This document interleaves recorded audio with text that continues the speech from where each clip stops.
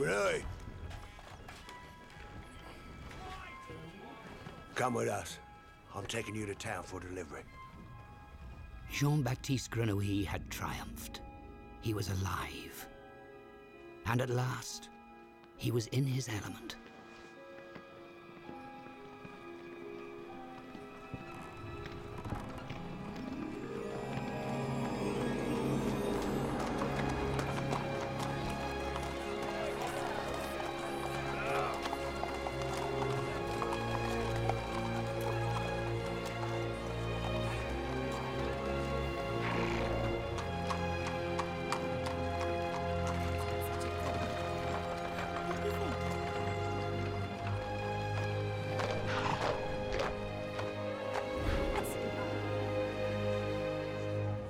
He was not choosy.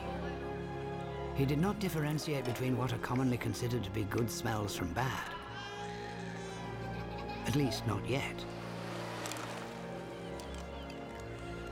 He was very greedy. The goal was to possess everything the world had to offer in the way of odors. His only condition being that they were new ones.